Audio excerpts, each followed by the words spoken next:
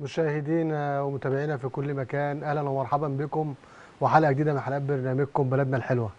النهارده إن شاء الله هنتكلم عن حاجة مهمة جدا وكلنا بنهتم بيها وكلنا حابين نعرف أسرارها وكلنا حابين نعرف حاجات كتير قوي قوي عنها. يعني إن شاء الله هنفيدكم فيها النهارده وهنتكلم فيها طبعا تخص طبعا مصر الفرعونية القديمة وتخص كل حاجة إحنا لحد النهارده ما وصلنالهاش أو مش عارفين نوصل لها لأنها فيها أسرار كتير جدا.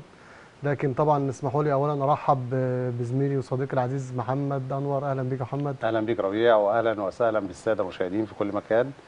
آه إن شاء الله النهارده زي ما قال الاستاذ ربيع هنتكلم عن آه الحضارة آه الغامضة. الحضارة اللي لغاية وقتنا هذا قبل ما نبدأ الاستوديو ده في حاجات كتيرة جدا غامضة وما توصلهاش العلماء. آه إيه واتعملت ليه وعشان إيه؟ هي حضارة الفراعنة. طبعا إحنا بنفتخر إن إحنا مصريين لأن الفراعنة طبعا أجدادنا دول كانوا متقدمين في كل شيء في الطب والهندسة وعلوم الفلك و... وحاجات كتيرة جدا يعني حاجات كتير جدا لغاية وقتنا هذا لسه بيكتشفوا ولسه بيحاولوا يدوروا ويشوفوا إيه الحاجات دي وظهرت إزاي ولسه ما وصلوش. يعني أقل شيء مثلا التحنيط أو سر من أسرار بناء الأهرامات لغايه دلوقتي ما عرفوش اتبنى إزاي.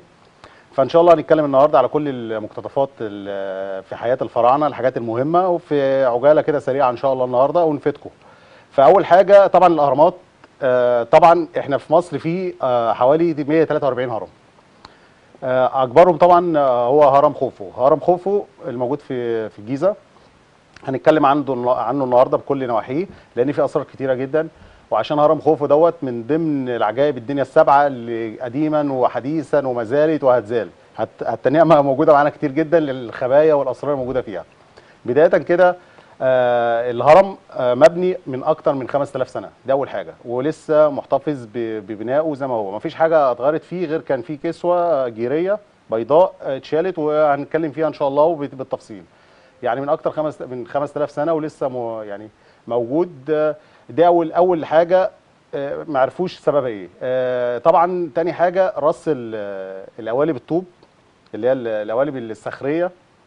طبعا في الهرم دوت بيحتوي على 2 مليون و600 ألف حجر. يعني كمية مهولة جدا. طب دول جايين منين؟ الصخور ديت جاية من أقصى أسوان. طب اتنقلت إزاي؟ ما يعني بعض النظريات بتقول إن هو على المراكب. طيب ماشي على المراكب. الحجر بقى الحجر الصخري العادي بيتراوح وزنه من 2 طن ل 15 طن. طب ده ممكن ماشي ممكن نقول يعني شالوه قربوه الكلام دوت. طب رفعوه إزاي؟ فوق الهرم؟ ما نعرفش. طيب في في حجر تاني اللي هو اللي هو بيغطي السقف بتاع الغرفة الملكية بتاعت خوفو. بيقدر ده حجر جرانيت بيقدر ب 70 طن. طب ده اترفع إزاي واتشال إزاي؟ طيب ارتفاع يعني ده بالنسبة لاول حاجة اللي هي للصخور اللي مبنية بها الهرم. 2 مليون و600 ألف حجر وجايين من أقصى أسوان وهكذا. نيجي بقى ارتفاعه. يعني ارتفاعه الهرم 149.4 متر. طيب هو الرقم دوت رقم كده هباء؟ لا طبعا. يعني هنقول ليه؟ ال 149 و4 متر دولت ده ارتفاع. الهرم من سطح الأرض لأعلى قمة فيه. طيب لما جيهم يقيسوا في الوقت الحالي والتقدم والتكنولوجيا اللي إحنا فيها جيهم يقيسوا المسافة ما بين الأرض والشمس طلعت تقدر ب 149 و4 مليون كيلو متر مربع. تخيلوا بقى تخيلوا إن نفس الرقم. طب طب يعني إزاي إزاي هم عرفوا إن المسافة ما بين الأرض والشمس بنفس ال يعني بنفس ال الارتفاع فلذلك طب نسيبنا من النقطة دي نخش في نقطة ثانية آه المحيط إحنا عارفين طبعا في قانون ثابت اللي هو محيط الدايرة على قطرها بيساوي 3 4 من 14 من 10 آه دوت اللي هو الطه. آه لما نيجي نحسب المحيط بتاع ال ال ال الهرم المحيط بتاعه على الارتفاع هيدينا 3 و14 من 100 طيب ده الهرم كله. نخش على غرفة الملك. لو حسبنا ارتفاعها على المحيط محيط الغرفة على ارتفاعها هيدينا نفس الرقم اللي هو 3 و14 من 10 نيجي على كل الغرف الهرم الداخلية نفس الكلام. طيب نيجي على التابوت بتاع الملك خوف موجود. التابوت ده لقوه من غير الغطا بتاعه. الغطا بتاعه بيقولوا إن هو اتسرق بس ده طبعا ممكن يكون تمويه لأن ده 10 طن. مين اللي هيشيل مين الحرامي اللي هيشيله ويطلع في في ممرات وحاجات كده وهيعمل بيه إيه؟ فاكيد يعني ده كلام كده بالتمويه عشان ما يروحوش للغرفة اللي هي السرية اللي ما حدش لغايه دلوقتي وقتنا هذا يعرفها طيب التابوت دوت المحيط بتاعه على ارتفاعه بيساوي 3.14 من 10 من 100 نفس القصة ونفس المضمون. لا يمكن يكون الأرقام دي هباء. طب دي بالنسبة للغة الأرقام. نيجي إيه تاني؟ طبعا الهرم ليه أربع حدود اللي هو يعني الأربع الاتجاهات بتاعته. الأربع اتجاهات دي تخيلوا بقى إحنا عندنا في يعني في العلوم ال- تقدم العلوم وك- وكل حاجة وصلنا لها دلوقتي إن في اتجاهات أصلية وفي اتجاهات جغرافية. الفرق ما بين الجهات الأصلية والجهات الجغرافية الشمالي يعني الشمال في الجغرافي في أربع درجات. فالأهرامات معمولة على الجهات الأصلية اللي هي الأصلية مش جغرافية اللي هي البوصلة تحطها تديك نفس الاتجاهات بتاعه الهرم. طب الطب ده العلم ده وصلوا له إزاي وفين ما نعرفش. طيب آه، في أسرار تانية في أسرار طبعا كتيرة جدا. آه، الممر بتاع ال- الممر الداخلي بتاع الهرم لو دخلت جوه الممر دوت معمول من الجرانيت الجرانيت دوت عامل زي المراية كده لمعته عاملة زي المراية. طب آه، طب إحنا عشان نوصل للرخام لل- بالمراية دي لازم صاروخ ولازم جلي ولازم قصص ومعالجات كتيرة جدا عشان يوصل للمرحلة دي. ما يعرفوش يتعامل إزاي. يخش وطبعا الممر دوت بيشير إلى القطب ال- في نجم برضه في السماء بيشير ليه اللي هو القطب القطبي النجم القطبي. نخش جوه على الدهليز الدهليز الأساسي بتاع الهرم جوه ده بي- بيشير إلى آه، آه، برضه نجم في السماء آه، اسمه النجم الشمالي. فدي والهرم ذات نفسه موجود موجود تحت أكبر نجم سماوي. طب إيه تاني؟ الهرم ذات نفسه موجود في منتصف القارات الخمسه يعني موجود في السنتر بالظبط بالنسبة للقارات الخمسه طب ده سر تاني من أسرار ال- الحاجات الكلام ده كله ما يعرفوش يتعمل إزاي ولا اتعمل فين والكلام دوت. آه نتكلم طبعا آه ال- ال- البوصلة يعني وحده قياس الهرم البوصلة الهرمية. البوصلة الهرمية دي بتساوي نفس هي اللي هي البوصلة الإنجليزية. طب ده برضه هباء ولا ده علوم رياضة ولا ده إيه؟ آه في حاجات كتيرة جدا طبعا من ضمن الأسرار اللي هنقولها. آه نخش تاني مثلا المحيط بالكامل زي ما إحنا قلنا آه الأماكن ال- يعني ال- ال- ال- ال- المقبرة المقبرة بتاعة خوفو لغاية دلوقتي لم يستدلوا عليها. يعني ال- الغرفة السرية ما يعرفوش هي فين. طبعا هم لقوا غرفة فيها تابوت فاضي وما فيهوش غطا زي ما إحنا قلنا والغطا بيقولوا إن هو اتسرق. طيب غيره آه، أوجه الممر الرئيسي إحنا قلنا الممر الرئيسي ال- العلماء بقى بعد القصة دي كلها قالوا إيه؟ قالوا إن ال- ال- الهرم دوت عبارة عن حاجة من ضمن الحاجات مش هيخرج عنها. يا إما هو بيت الاسرار أو عبارة عن مرصد للفلك أو صحيفة تنبؤات. وهنتكلم برضه في صحيفة التنبؤات دي في في إيه؟ في في, في حاجة تانية. فالأسرار طبعا ما خلصتش يا ربيع. عندك أسرار تانية؟ لو قعدنا نتكلم على الهرم الأكبر ده يعني هو طبعا اتحط من عجائب الدنيا السبعة عشان خاطر طبعا إن وجوده بطريقة بنائه بكل النظريات اللي موجودة بتقول إن هو ما اتعملش قبل كده ولا اتعمل بعد كده. يعني حاجة حاجة شاذة موجودة في العالم كله أول مرة تكون موجودة. طيب إحنا جمعنا شوية نظريات كده وتخمينات لبناء الهرم الأكبر. يعني عايزين نقول كل واحد أو كل مجموعة معينة أو كل مجموعة علماء قالوا لنا إن في آه، ممكن ادونا شوية نظريات. طب من النظريات ديت مثلا قال لك إن الهرم الأكبر ده عشان يتبني مثلا ممكن يكونوا جابوا ساتر ترابي يعني عملوا ساتر ترابي عالي قوي وبدأوا يحطوا عليه ألواح خشبية كبيرة عشان يقدروا يزحلقوا عليها ال ال ال البلوكات بتاعه الهرم طبعا كده وبتاع. دي يعني كانت دي نظرية من ضمن النظريات اللي هم كانوا اتكلموا فيها. في حاجة تانية مثلا بيقول لك إن عشان تبني الهرم الأكبر ده لازم مش أقل من 100000 عامل.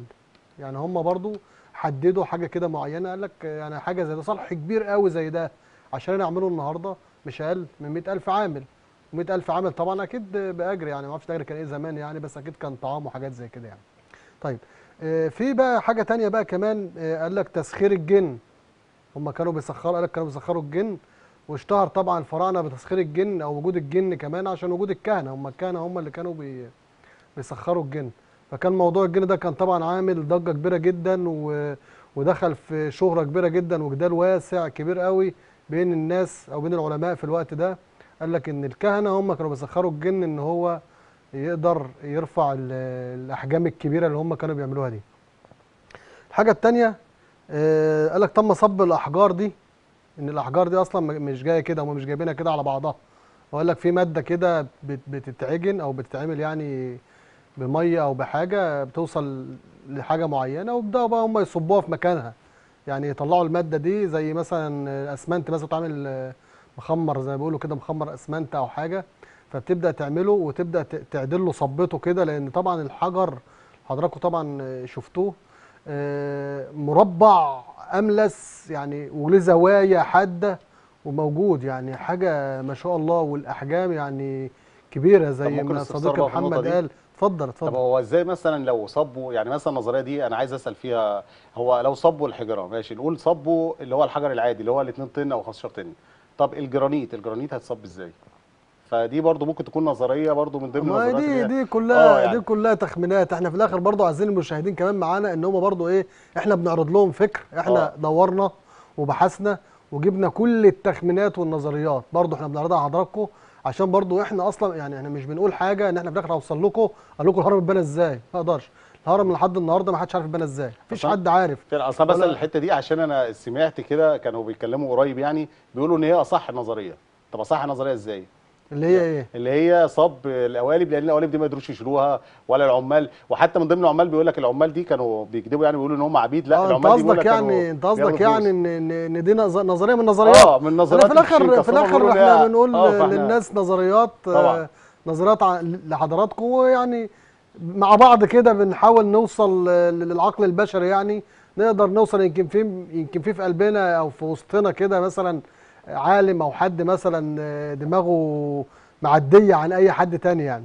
طيب آه، إحنا قلنا إن الأحجار دي لها زوايا حادة. يعني معنى الكلام إن الأحجار دي يعني هي متقطعة مثلا زي مثلا دلوقتي مثلا بنقطع دلوقتي مثلا الرخام والحاجات دي بمية. بنجيب ضغط المية ونقطع بالأحجار النهارده. طب كان في ضغط ميه زمان؟ مش عارفين. وصاروخ طيب كان. في صاروخ يعني حاجة بيقطعوا بيها؟ مش عارفين. طب كان في مثلا آه، حاجة محروها مثلا عملوها كانت مش متظبطة وجابوا محارة مثلا ومحروها مش عارفين. فدي كلها برضو تخمينات إحنا بنعرضها لحضراتكم. طيب آه، في مثلا تخمين بيقول إن الهرم الأكبر زمان كان واخد طبقة جير. يعني حضرتك لو لو أي حد راح الأهرامات هيلاقي فوق في في المثلث اللي فوق ده في طبقة كده موجودة لسه لحد النهارده. وبقت الهرم مكشوف. آه اللي هي طبعا الملسة دي اللي هي فوق الحتة الصغيرة اللي هي الطبقة حوالي آه. الطبقة اللي في ال- اللي في الطرف فوق خالص دي الطبقة دي أصلا طبقة جيرية آه، مكتوب عليها بالذهب. آه، كان الهرم كله كان أبيض كان كله كان جير أبيض ومكتوب عليه بالذهب. آه، في فترة من فترات سنة 1301 بالتحديد حصل زلزال. طبعا 1301 دي بالنسبة لنا إحنا قريبة بالنسبة لفراعنة بعيدة طبعا بعيدة كتير جدا ده ده عدى عليها قرون من الزمان. طبعا حصل زلزال كبير جدا. الزلزال ده نتيجته كل ال- ال- الجير اللي كان على ال- الهرم طبعا آه، نزل على الأرض خالص ما بقاش فيه حاجة غير الحتة اللي هي فوق بس اللي موجودة لحد النهارده. آه، قال لك إن الحاجات دي بعد كده عملوا بيها آه، ترعة آه، آه مجرى العيون سور. آه سور مجرى العيون في حي مصر القديمة. وفي كمان غرائب كمان أخرى برضه محمد داخل غرفة الملك برضه. أنت يمكن آه، نتكلم عليها برضه لو انت جبت قطعة لحم. حتة لحمة نية مش نية. وسبتها كده في في الغرفة دي آه، يوم أو اتنين أو تلاتة أو عشرة أو مية هتلاقي قطعة اللحمه دي كل اللي حصل لها إن هي نشفت ما تعفنش. يعني أي حد لو إحنا جبنا قطعة لحمة مثلا باقية أو أي حاجة ورميناها أو سيبناها في أي مكان أو ايا كان غير إن إحنا حطيناها في الثلاجه يعني تجمد هيحصل لها اي حبوظ هتعفن. لكن لو حطيناها في الهرم في غرفة الملك مش هيحصل لها أي حاجة غير إن هي هتنشف فقط لا غير يا ده ربيع دي, دي, دي آه. طبعا صورة ال- الهرم طبعا أيام. القدماء المصريين طبعا قبل سنة 1301 كان بالشكل ده آه، لما حصل الزلزال حصل طبعا بقى بالشكل اللي حضراتكم شايفينه النهارده بقى فيه قطعة بس طبعا الجير ده الهرم الأكبر بس يعني دايما هتلاقي حتى الهرم الأكبر بس هو اللي هتلاقي عليه الحته في المثلث فوق كده في الهرم الأكبر بس مش في الهرمين التانيين. طب أنت قلت كان في بقى في جداول ونقوش من الذهب على الطبقة دي. مش ممكن يكون النقوش والحاجات اللي هي وقعت مع الطبقة دي هي اللي مكتوب عليها الأسرار بناء ال- الهرم الأكبر؟ ليه لأ؟ ليه لأ؟ ممكن تكون هي كان مكتوب عليها الأسرار والحاجات دي. بس هو هو, هو ربنا ليه حكمة في حاجة معينة إن ما حدش يتعرفها بعد كده. وبعدين ما ننساش إن ان ان, إن كان في المفروض برديات وحاجات. يعني أنت قلت دلوقتي إن ال- ال- الغطا بتاع التابوت بتاع الملك مش مش. موجود. ما. يمكن الغطا ده سر من الأسرار. فعلا. يعني كان مكتوب عليه حاجة كان مكتوب حاجة نوص- نوصل لحاجة معينة ودلوقتي مش موجودة. يعني إحنا برضو كل الحاجات دي إحنا برضو بنتكلم مع الناس بنعرفهم. عشان هنوصل بعد كده في بعد الفقرة في حاجات تانية هنتكلم فيها أهم وأكتر. تمام. طبعا في انتظار الشيخ آه، راجل الشرع الشيخ رجب الحداد عشان عندنا أسئلة كتيرة جدا هو خلاص على وصول إن شاء الله. عندنا أسئلة وحاجات كتير جدا برضو ورسائل على الصفحة برنامج بلدنا الحلو على الفيسبوك.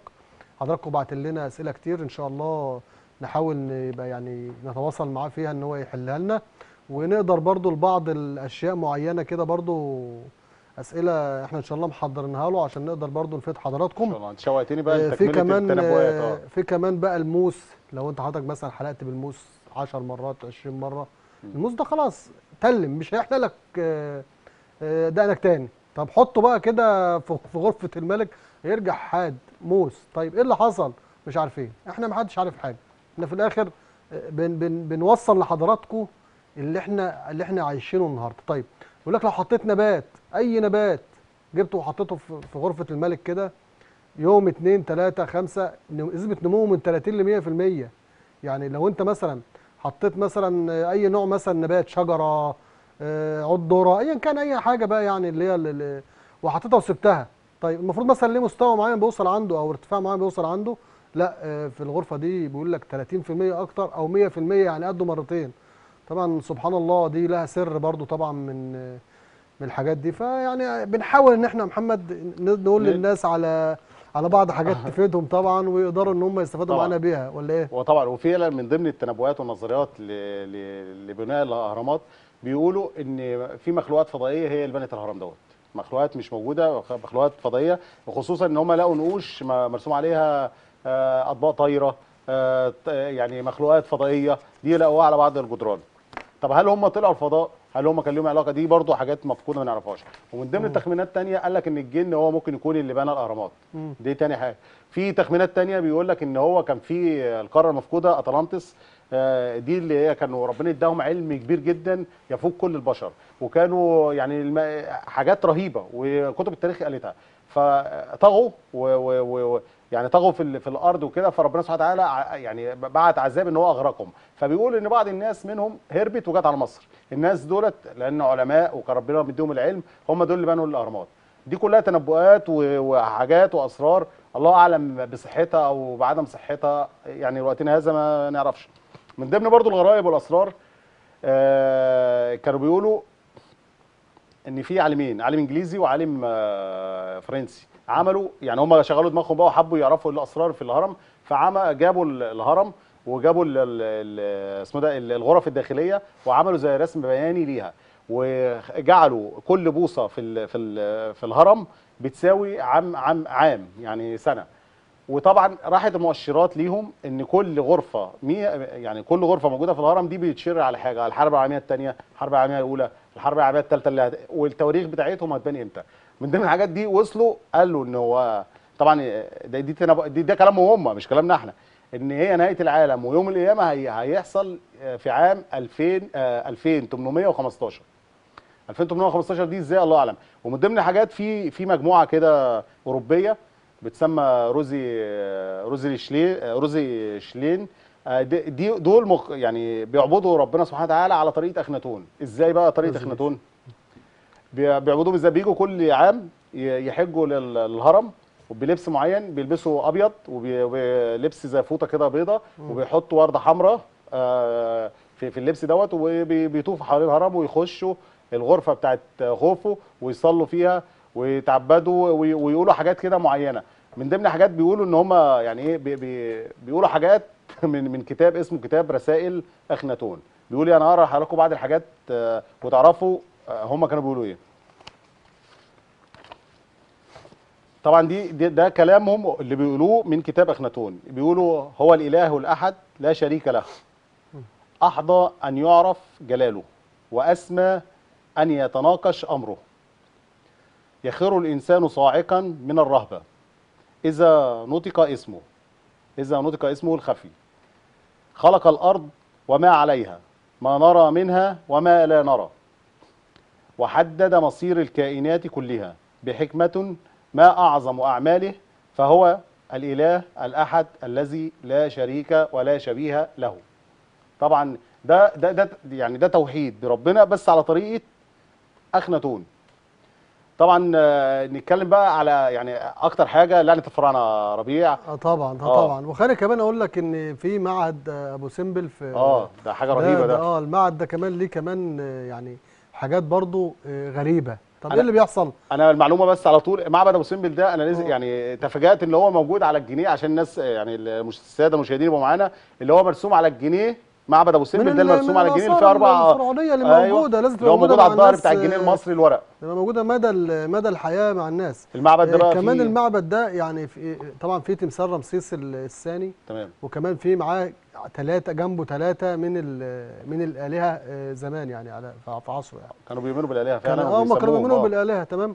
فطبعا في تعامد للشمس كل سنة كل عام يوم 22 فبراير ويوم 22 أكتوبر. طب إيه حكاية آه، اليومين التواريخ دي يعني؟ بتنص على حاجة مثلا أو بتشير آه لحاجة؟ يوم مولده ويوم تمام. توليه العرش.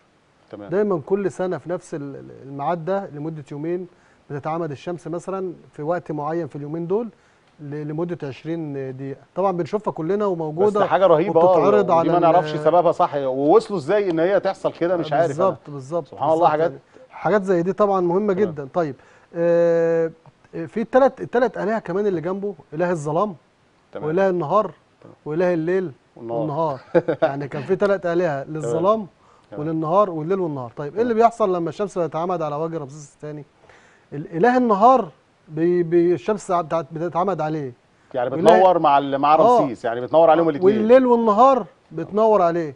إله الليل لا سبحان الله. ما بيجيش ما عليه شمس بيجيش على خالص. ما بيجيش على إله الليل شمس خالص. فدي من ضمن برضو الحاجات اللي إحنا لحد طب واللي هو بقى ال ال ال النهار بس أو الليل بس ده بيحصل فيه إيه؟ ده اله إله هم كان في إله هو اسمه كده إله يعني النهار. الشمس بتيجي على نصه بس ده آه اللي هو اللي هو اللي بتاع النهار بتيجي على. نص. آه النهار بتيجي على نصه لأن هو نص اليوم. المفروض آه. هو نص اليوم. سبحان الله يعني. فبتيجي على نص. لكن الليل ما فيش نور فمش هتيجي عليه. الليل والنهار منوراه كله زيه زي رمسيس الثاني بالظبط.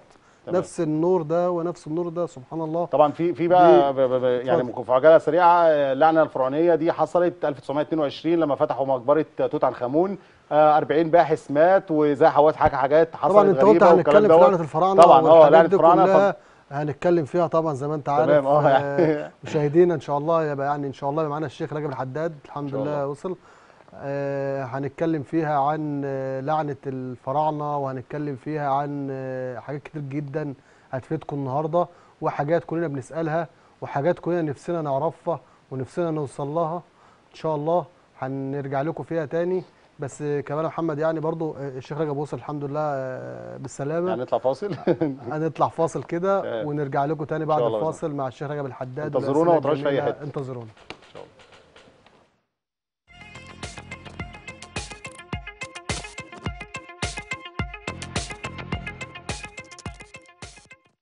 الحضارة الفرعونية. تعتبر الحضارة الفرعونية من أقدم الحضارات وأعظمها في العالم أجمع. فقد تميز الفراعنة في جميع مجالات الحياة حيث استطاعوا بناء حضارة أذهلت العالم أجمع. كما كان لمنتجات حضارة الفراعنة العديد من الأسرار التي حيرت العلم العالم. فبعض أسرار الأهرامات والفلك لم تكتشف بعد بالرغم من التطور العلمي والتكنولوجي. الأمر الذي يدل على ذكاء وبراعة المصريين القدماء. كيف انتهت الحضارة الفرعونية؟ عوامل خارجية. سقطت الحضارة الفرعونية بسبب ضعف حكامها وتكالب الغزاة على مصر ومن الغزاة الذين حاولوا الاستيلاء على مصر. الهكسوس. قدموا إلى مصر عام 1560 إلى 1786 قبل الميلاد من الشام والعراق. وذلك بسبب التغيرات المناخية التي كانت تعاني منها تلك المناطق فوصلوا مصر ليستوطنوا فيها. ولكن أوقفهم الملك أحمس والذي استطاع طردهم من البلاد. الآشوريين قدموا إلى مصر عام 1560 إلى عام 1786 قبل الميلاد من العراق وبلاد الشام حيث حاولوا ضم مصر لحكمهم ولكن باءت محاولتهم بالفشل.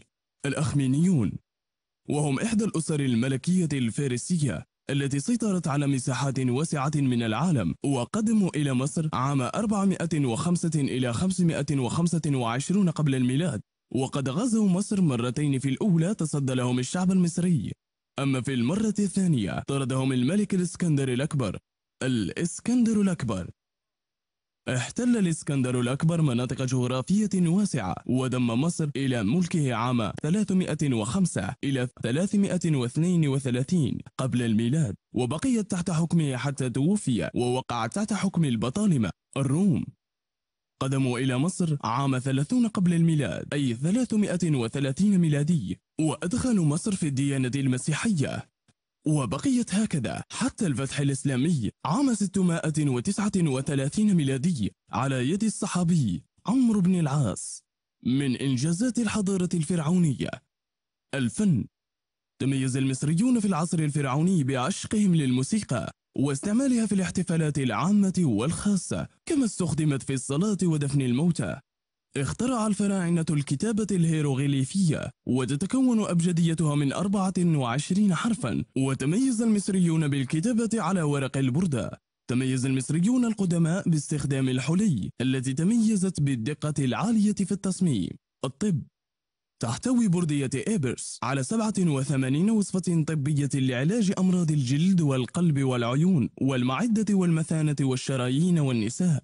تحتوي بردية أدوين على معلومات عن العملية الجراحية وإصابة الجروح كما تعرض 48 حالة تبدأ بالتعريف الإصابة ثم وصف الأعراض ثم إعطاء الرأي الطبي وطريقة العلاج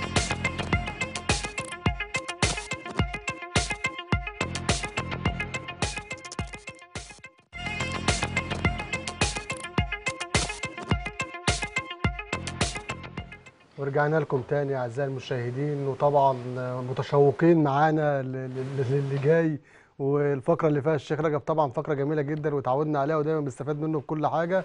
وهنيجي معاكم النهارده في أسئلة جميلة جدا بس نرجع الأول نرحب ب- بالراقي الشرعي الشيخ رجب الحداد منورنا النهارده. أهلا بيك أستاذ ربيع واهلا بكل السادة المشاهدين. نورتنا يا شيخ النهارده وإن شاء الله ن- نفيد السادة المشاهدين. وعشان جات لنا أسئلة كتيرة جدا وعايزين إحنا كذا حلقة يا شيخ عشان نستفيد بعلم تحت حضرتك. أمرك تحت أمر الساده المشاهدين ربنا يخليك. إحنا إن شاء الله طبعا اتكلمنا النص الأولاني عن الفراعنة وعن تسخير الجن وعن حاجات كتيرة جدا. من ضمن النظريات إن هم قالوا إن الجن هو سبب بناء الأهرامات. فطبعا هنستغل وجود الشيخ معانا إن شاء الله ون- ونسأل ونستفسر عن حاجات كتيرة جدا بتخص الأهرامات وتخص ال- ال- العالم الآخر إحنا ما نعرفوش. يا شيخ في البداية كده هو إيه علاقة ال- الفراعنة؟ بالجن وتسخير الجن وبنسمع إن في مثلا بيبقى في في جن كده مرتبط بالمقابر الفرعونية و- وبالاسحار والكلام دوت. فإحنا عايزين نعرف المفهوم دوت ونبين الموضوع ده. الحمد لله والصلاة والسلام على رسول الله وعلى آله وصحبه ومن والاه. والسلام.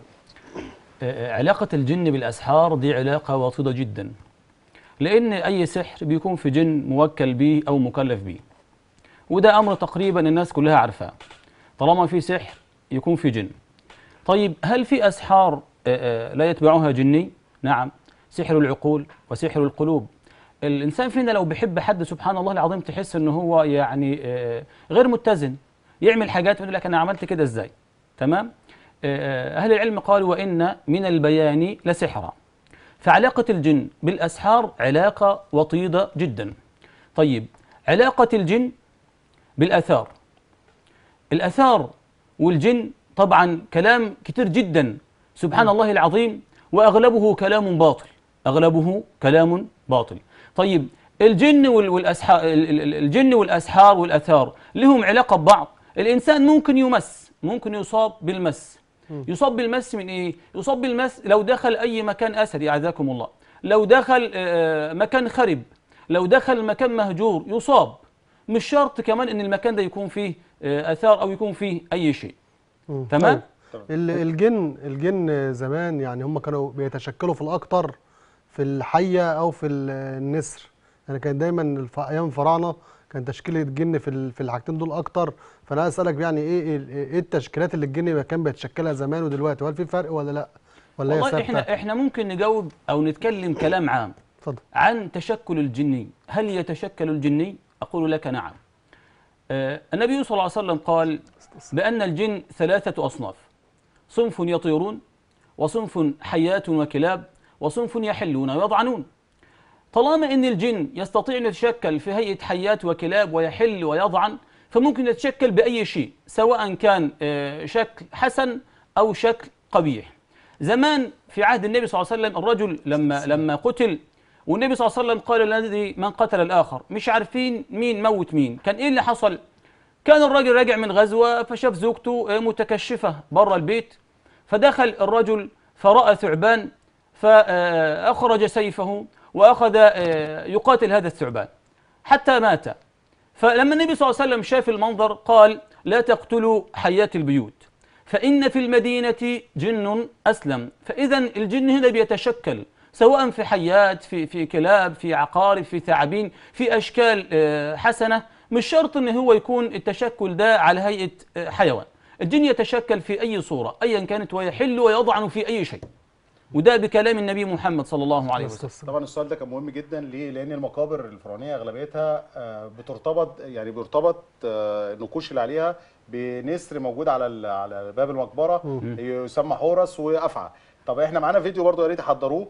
لفيديوهين تمام. آه في هما. عمال الفح آه عمال الحفر ب- آه، شغالين لقوا حية لقوا افعى وما رضتش تمشي طبعا في أي مكان وكملوا حفر لقوا في تمثال وهي بتحرسه تمام. وفي نفس الكلام برضو وضع تاني فالسؤال بقى يعني السؤال المهم يا شيخ هل الجن الحارس ده طبعا ال ال ال الفيديو معانا اهو على الهواء آه تمام آه. بص يا شيخ ال- الافعى وحتى لودر وما خافتش ولما كمل حفر هيبان تمثال وهي واقفة حرساه ده ده حاجة. آه، هل بقى الجن اللي هو موجود في المقابر الفرعونية ديت وبيقال إن هو عند ال- المقابر اللي هي بتاعت الملوك والأمراء بس آه، دوت بيبقى هو أصلا موكل من ضمن من ال- الكهنة أو من الفراعنة اللي هم جيهم عملوا المقبرة دي ولا هو عشان ساكن آه، تحت الأرض فبيظهر وبيدافع عن المملكة بتاعته؟ طيب بالنسبة للأفعى اللي ظهر معنا في الفيديو ديت يعني آه لا نستطيع أن نقول هي جن أم لا. إحنا قلنا الجن بيتشكل حيات وكلاب. طب الأفعى اللي في الفيديو دي هل هي جن ولا مش جن؟ مم. الأفعى دي حضرتك ممكن تكون جن وممكن لا. لأن طبعا أنا بص ده ده أعرف وأتأكد التمثال منين؟ ده التمثال يا شيخ قد يكون الأمر قدرا. مم. أفعى موجودة في مكان. طب بس مش ولكن إحنا بعد ما, ما الناس شغالة وبتاع قلنا لا ده هي دي حارس مكان مش شرط.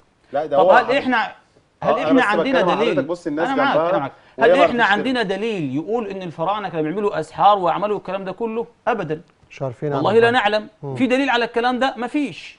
ما وضع بالعلم لا يستخرج إلا بالعلم. أما قصة بقى إن ال- ال- الجن تشكل وحارس المقبرة فهذا كلام ليس عليه أي دليل من الصحه مم. طيب. اتكلمنا اتكلمنا يا شيخ عن بناء الهرم الأكبر أو بناء الاهرامات عموما يعني. آه. حاجة بتربطهم ببعض. اللي هي طريقة بناء الأهرامات. لحد النهارده ما فيش أي حد وصل لها. فأنا عايز أسألك النهارده هل الجن ليه دور أو يقدر إن هو يبني الأهرامات دي ويقدر يرفع الحجارة دي في أيام الفراعنة لغاية دلوقتي؟ الجن اللي كان بيعمل الحاجات ديت كان جن خاص بسيدنا سليمان. مم. لا أقصد طبعا الهرمات. ولكن سيدنا سليمان سخر له الجن. ودي كانت أمر أو خاصية من ربنا سبحانه وتعالى. أما الجن يبني أو أو أو يعمل أي شيء فهذا الأمر ليس عليه دليل. يعني ولكن نستبعده. في أيام سيدنا سليمان قال عفريت من الجن أنا أنا أتيك أتيك به أتيك به. فإذا القوة والقدرة دي كانت خاصة بالجن ده في أيام سيدنا سليمان. أما الجن يبني أهرامات يهد أهرامات هذا أمر ليس عليه دليل. تمام. تمام. طب في بقى سؤال مهم جدا يا شيخ وده إحنا بنشوفه كتير وبيحصل بيبقى فيه يعني مثلا في ناس بتمشي ورا الدجالين كتير. ويقول لك في مقبره فرعونية هنا وبيطلبوا بقى طفل صغير يطلب بنت عذراء يطلب يقول له ابنك يقول له أخوك بيطلب ناس معينة ولازم يتذبح ولازم يحصل دم على المقبرة دي عشان يتفتح فإيه الكلام دوت؟ و... والله كثر الكلام وكثر الكذب في هذا المجال. وسبحان الله العظيم ظلمنا الجن معنا من كثرة الكذب عليهم. سبحان الله الناس بقت النهاردة بتلبس أي تهمة للجن. أي تهمة. يقول لك آه، معمول له عمل. في كذا. واحدة مختلفة هي وزوجها. معمولون سحر تفريق. واحدة كانت مخطوبة ولم يتم الأمر. آه، معمول سحر تعطيل. في كذا في كذا. وسبحان الله العظيم الناس أصبحت تختلق الكذب على الجن. الجن أصلا أصلهم الكذب أو غالبهم يكذبون. ولكن للأسف الشديد إن البشر أصبحوا يعني يختلقون ويعني ويركنون إلى أن كل هذه الأمور من الجن. ونسوا أن الله تبارك وتعالى الأمور تجري بالمقادير. الله تبارك وتعالى يجري الأمور بأمره وبحكمته. تمام؟ فقصه بقى سفك الدماء والكلام ده كله والأطفال كله ده كلام باطل. كل ده كذب. الإنسان يتقي ربنا سبحانه وتعالى. ما فيش حاجة اسمها جن يطلب سفك دماء. طب ما يا شيخ في ناس بتعمل أعمال ويقول لك ده عايزين نذبح حاجة. اللي طالب الحاجة دي الساحر. طالبها قربان عشان يتقرب للجني. عشان ينفذ المهمه الموكل بيها. وده طبعا الساحر ده بيذبح هنا لغير الله تبارك وتعالى. طب هو ده مش حرام؟ ده حرام وكفر. من ذبح لغير الله تبارك وتعالى فقد أشرك. طب الكفر ده الساحر بيعمله ليه؟ حضرتك هو أصلا لما جه يستعين بالجن كفر بالله تبارك وتعالى. وليس بعد الكفر ذنب. فأنت هنا ما تلومش عليه أنت ليه بتذبح لغير الله تبارك وتعالى. هيذبح ويعمل كل شيء. ونجاسات وكلام يعني نسأل الله تبارك وتعالى العفو والعافية. فالإنسان يتقي الله تبارك وتعالى. سفك الدماء خطف الأطفال كل ده كلام باطل. إحنا بندعيه أو إحنا بنكذب على الجن إن هم اللي بيطلبوا الأشياء دي. نسأل الله تبارك وتعالى السلامة. النبي صلى الله عليه وسلم قال لأن تهدم الكعبة حجرا حجرا خير عند الله تبارك وتعالى من أن يراق دم امرئ مسلم بغير وجه حق. فكل ده كلام باطل. نتقي ربنا سبحانه وتعالى. كل واحد يتقي ربنا سبحانه وتعالى في نفسه وفي ماله وفي أهل بيته. نسأل الله تبارك وتعالى العفو والعافية. في في سؤال ممكن يخرج معنا حاجة بسيطة كده عن اللي إحنا بنقوله. اللي هو ال- الطلاق الروحي اللي هو بين مثلا مثلا يعني أم مثلا تقول لي تقلق على ابنها. مم. أنا ابني في حصل له حاجة أنا حاسه إن ابني حصل له حاجة. مم. فدي حاجة روحية. آه اتنين توأم مثلا إخوات. آه واحد مثلا عنده مشكلة أو عنده حاجة. يجي التاني يزعل عليه أو يح- ويحس بيه. تمام تمام. فهل الجن بقى ليه دور في ال- في الموضوع ده؟ برضه انت برضه هنقول الجن برضه ده السؤال ده مهم جدا. جدا جدا وعايز أربطه برضه فعلا كويس إن هو الأستاذ ربيع سأله. آه لأن التواصل الروحاني ده كانوا بيقولوا برضه لعنة الفراعنة بتحصل بسبب التواصل الروحاني دوت. فالسؤال ده مهم جدا حضرتك تجاوبنا عليه. أيوه عشان إحنا عايشينه فعلا في البيوت. يعني إحنا فعلا في البيوت عايشين ال- ال- ال- إن كل واحد مثلا يقلق على حد معين. لا ده حصل له حاجة. أنا حاسه إن في حاجة غلط. مش عارف إيه. الحاجات دي بتحصل إزاي؟ يعني إيه اللي بيحصل؟ عرفنا كده يا شيخ الله المستعان. طيب ال- الأرواح وتلاقي الأرواح. مم. هل في دليل أو في أمر ورد في تلاقي الأرواح؟ نعم. قال النبي صلى الله عليه وسلم الأرواح والسلام. جنود مجندة. ما تقابل منها ائتلف وما تناكر اختلف. سبحان الله ممكن يكون أول مرة أشوف الأستاذ ربيع أو الأستاذ محمد في مكان وأروح على نفسي بتكلم معاه وبحكي له عن أسرار ومستريح له جدا. طيب ده من إيه؟ الأرواح تلاقت الأرواح تلاقت. تلاقت. ابن عباس يقول إن الذين آمنوا وعملوا الصالحات سيجعل لهم الرحمن ودا. ودا يعني إيه يا ابن عباس؟ قال حبا في قلوب العباد حبا في قلوب العباد. فلا يبغض المؤمن إلا منافق. لا يبغض المؤمن إلا منافق. أنا مش مستريح للشخص ده. سبحان العظيم ممكن يكون هو الإنسان ده له مكان عند ربنا سبحانه وتعالى. وربنا سبحانه وتعالى عايز يحميه منك ومن معاصيك ومن أذاك. فتلاقي الأرواح أمر موجود أمر موجود. طب في تلاقي تاني؟ في تلاقي روحاني؟ آه في ده تلاقي أرواح شيطانية. إزاي؟ لما اتنين سحرة يقعدوا مع بعض كل واحد ده معاه خدمة أو, أو, أو جن والتاني كذلك الأمر. يتلاقوا من خلال الإيه من خلال الجن أو من خلال الإيه خلال القرين.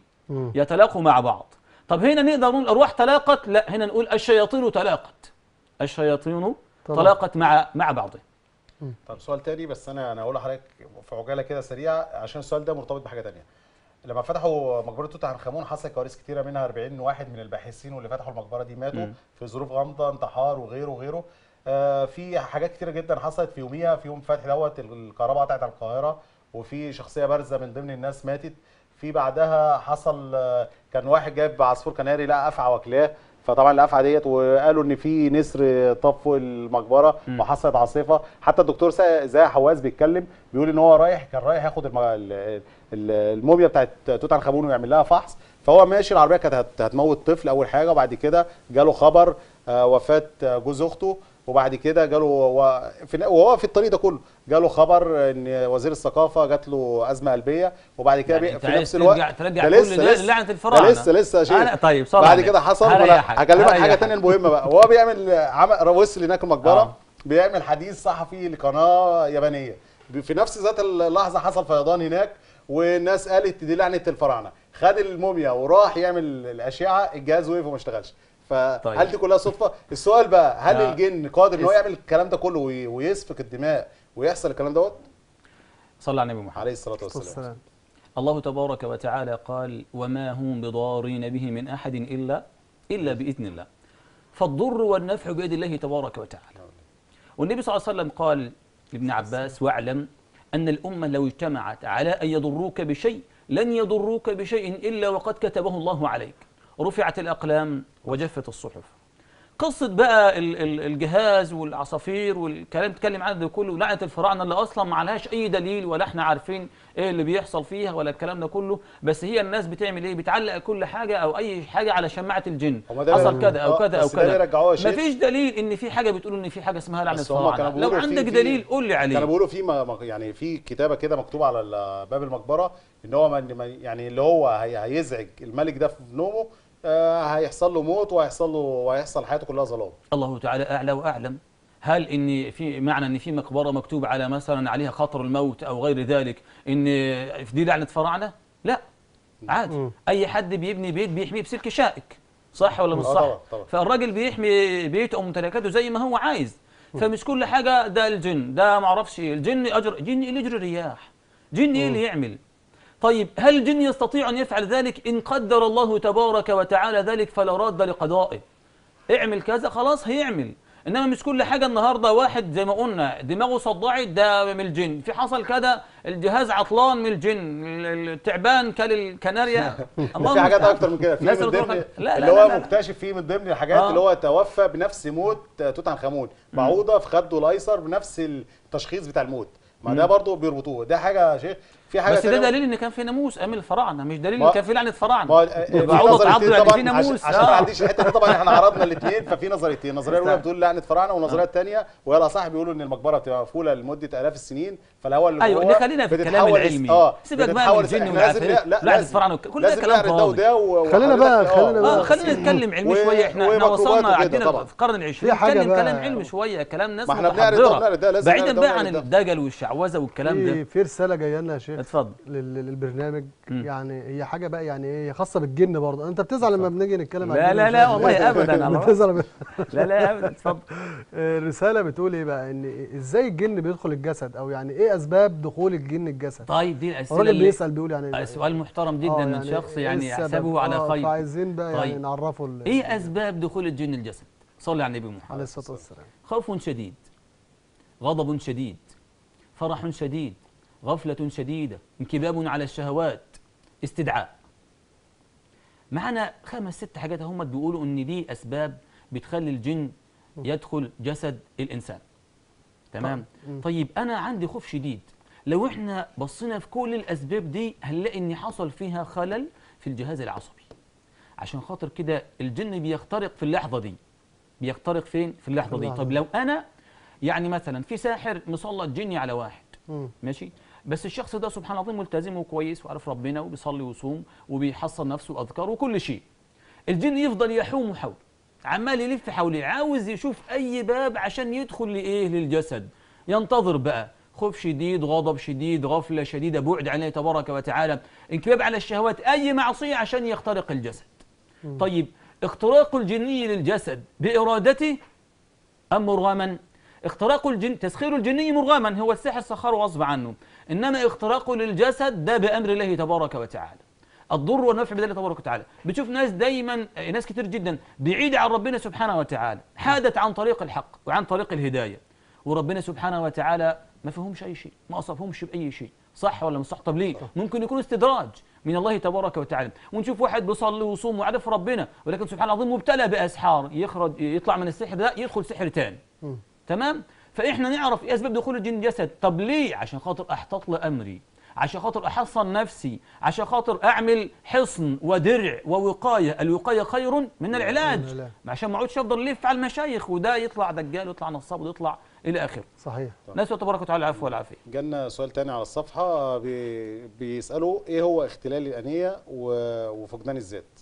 وإحنا عايزين نعرف قبل اللي بيسأل. ده طيب اختلال الأنية ده وفقدان الذات ده موضوع كبير يعني عايزين حلقة كاملة يعني ما الله إحنا عايزين المستعان نفهم مفهومه بس عشان مفهوم طيب صعب في جدا. عجالة هنقول الأعراض الخلل الانيه وبعد كده نقول ال- ال- العلاج إن شاء الله بإذن الله سبحانه وتعالى. اختلال الأنية أو أو فقدان الذات أو الغربة عن الذات. بيحصل نتيجة إيه؟ أو إيه اسبابه وإيه اعراضه نقص فيتامين د. أو بي 12 أو نقص مغنيسيوم. حد تعرض لصدمة نفسية شديدة جدا. تمام؟ بكى فيها بكاء هستيري. طيب من أعراضه أيضا الإنسان يحس ان هو عايش ما بين الواقع والخيال. هو اللي حصل ده صح ولا مش صح؟ هو أنا صاحي ولا نايم؟ من اعراضه أيضا الصراع الداخلي صراع داخلي مستمر. الرغبة في إيذاء النفس انتقاد الآخرين حتى بعد كده كمان بيفضل بعد كده ينتقد في نفسه. طبعا كل ده دون أن يشعر. لو الشخص ده نظر إلى شيء ثابت تمام يراه متحرك مثلا قدامه مثلا إزازة مية وبص لها يحس إنها بتهتز بتتحرك من مكان هو أصلا غير متزن غير متزن لا فكريا ولا عقليا فبالتالي الأمر ده بيكون آثره إنه غير متزن بدنيا مم. تمام؟ طيب هل ممكن اختلال الآنية ده يحصل لو الإنسان ما حصلوش صدمة آه، نفسية؟ أيوه ممكن يحصل. لو حد عنده حسد شديد تحول الحسد ده لوساوس. الوساوس بتكتر على الشخص يستحوذ عليه القرين تكون جوه منه صراعات داخلية بعد كده يحصل له حاجة اسمها اختلال الآنية أو فقدان الذات. طب العلاج إيه؟ العلاج سريع إن أنا أرجع لأصل الإصابة. لو كانت صدمة نفسية أعالج الصدمة النفسية. أعالجها كويس جدا. لو كان الأمر يحتاج لدكتور نفسي مفيش أدنى مشكلة. يحتاج إن أنا آه، آخد مهدئات أو إني أتكلم مع حد أو إني أعالجها بأي شيء أنا شايفه صح مفيش أدنى مشكلة. طيب لو لو مش صدمه نفسية أعالج الحسد. أعالج الحسد الشديد اللي حصل لي ده عشان أخرج من هذه الايه من هذه الأزمة. طيب في بقى يعني سؤال آه، مهم جدا جدا يهم السادة المشاهدين وأنا يعني مهتم بيه قوي إن أنت تجاوبنا عليه. السؤال بيقول إن أحد متابعين البرنامج بتاعنا حصل يعني حصل له عملية نصب. تمام. طيب إيه عملية النصب اللي حصلت؟ مم. هو في حد قال له إن أنت عندك مقبرة. موجودة. ماشي. كده. فجه جه شيخ أو جه حد بيدعي إن هو شيخ يعني تقصد نصاب. ثانية واحدة. بالنسبة للموضوع للشيخ بيدعي. أنا قلت بيدعي. آه، خلينا صغيرة. بيدعي. الشيوخ ثلاثة. شيخ شيخه الزمان وشيخ شيخه الشيطان وشيخ شيخه القرآن. طيب عشان عايزك تجاوبني على لحية السؤال ده قبل وقت قبل وقت الحلقة. على الناس كلام فاضي. قبل وقت الحلقة يا شيخ عشان ده مهم. جدا. أنا بقول آه. أنا نفسي عايز أعرف اتفضل. فالمهم إيه؟ يعني هو جاب الراجل جه. فهو راجل شغال آه، قعد حفر شوية كده وبتاع ومطلع تمثالين اتنين ذهب حلوين قوي كده لامعين في, آه. في وشه. ماشي كده. فطبعا هو بيحفر قال لك أنا كنت شايفه يعني قالع يعني هدومه. مش لابس هدومه فأنا أيوة، عمال أيوة. أقول له انت انت قلعت هدومك ليه؟ ما بيردش عليا قلعت هدومك ليه ما بيردش عليا. وفي الآخر لما طلعت التمثالين الاثنين وخدتهم وحطهم في العربية حسابك كام؟ قال لي 120000 جنيه فديتهم له ايا تمام كان يعني أي رقم آه. يعني آه. فخلاص الراجل حط حاجته في العربية جه الصبح بيفتح العربية راح يوديه لقى لا حجارة مش دهب تمام فهو بيسأل بقى إيه اللي حصل يعني أنا عايز أعرف الراجل طلعهم قدامي وكذا كذا الراجل اللي. عامل نفسه شيخ ده بس سريعا في عجالة عشان ده ده ساحر حضرتك لما أنت بتقول قلع هدومه هو كده بس كان بيتأكد الخدمة اشتغلت على عينيه ولا لا سحر عينيه سحر التخيل عشان لما يتأكد إن الخدمة اشتغلت عليه يشتغل ويشوف شو- يشوف النصب براحته بقى. تمام؟ هو نصب عليه وسحر عينيه بيقول له أنت قالع عليه ما ردش عليه. كده اتأكد إن الراجل ده اتسحر. خلاص كده. يشتغل بيبدا النصبايه براحته. تمام؟ خلص نصبه وبتاع خد الفلوس وخد بعضه وسافر. بدليل إن ثاني يوم الصبح يقول لك أنت لقيت ال- لقيت تماثيل إيه؟ كانت حجارة. يعني هو كده كان آه، ساحر ده- له بيتأكد إن ده- السحر ده اشتغل. عليه ولا ده لأ؟ ده مش شيخ ده نصاب. ده نصاب. إحنا نتقي ربنا سبحانه عجاله وتعالى بقى يا شيخنا في بقى عجاله يعني- سريعة الرضا. الرضا آه. جنة الدنيا. آه. ارضى باللي ربنا سبحانه وتعالى اداهولك ارضى بحياتك بيتك زوجتك أولادك. يا جماعة كل حاجة في الدنيا رزق. يعني زوجتك رزق أولادك رزق الفهم رزق والمنع رزق والعطاء رزق. تمام؟ يقول حسن البصري لو رزقت الفهم في المنع لكان المنع عين العطاء. ارضى. الحمد لله. ربنا أوجدك فقير الحمد لله. غني الحمد لله. بتفهم تفهمش الحمد لله. إن كل شيء خلقناه بقدر حتى العجز والكيس. لما يكون عندك عيل الواد ده يطلع غبي تقول طلع غبي لخاله. لا هو ربنا قدر له كده إن هو ده يكون كده. ده يعني الناس كلها مثلا كانت كلها عباقرة. كان مين هيخدم كان مين هيتحرك؟ كان مين هيكون صناعي؟ كان مين هيكون كذا أو كذا؟ نرضى والحمد لله. لو رضي الإنسان لما قدر الله تبارك وتعالى له وقسم يعني لبلغ الراحة في الدنيا وفي الآخرة.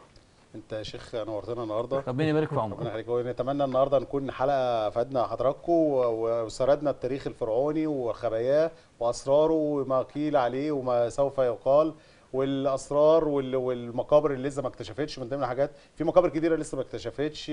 وطبعا هل الجن بيخفي المقابر دي ولا لأ؟ في حاجات تانية هنتكلم فيها. في إن شاء الله لو سمح لينا الأوقات التانية بإذن الله. وفي النهاية بشكر حضراتكم لحسن متابعتكم.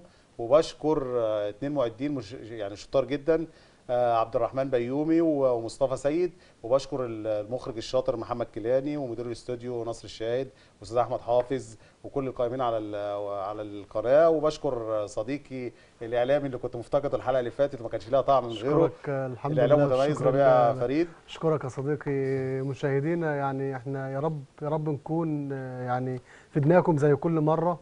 ويا رب تكونوا استفدتوا مننا يعني بأي حاجة عرضناها عليكم النهارده. وكمان يعني بنشكر شيخنا الجميل الشيخ رجب الحداد على تلبية دعوته الساده النهارده. آه، طبعا لو اتكلمنا معاك كتير جدا في حاجات كتير جدا آه، يعني عايز وقت كتير. لكن يعني حلقتنا للأسف آه، مش عايز أقول لكم المخرج كل شوية عمال يقول لي يلا يلا يلا. فطبعا يعني معلش هنس- هنستحمله يعني. وعلى فكرة السادة المشاهدين بيشتكوا عايزين نزود ال- الوقت بس معلش بقى اللي آه. بيبقى مرتبطين بميعاد وطبعا إن شاء الله نقابلكم الحلقة الجاية بإذن الله تعالى موضوع جديد. توحشونا وفي حلقة جديدة إن شاء الله وموضوع جديد والسلام عليكم ورحمة الله وبركاته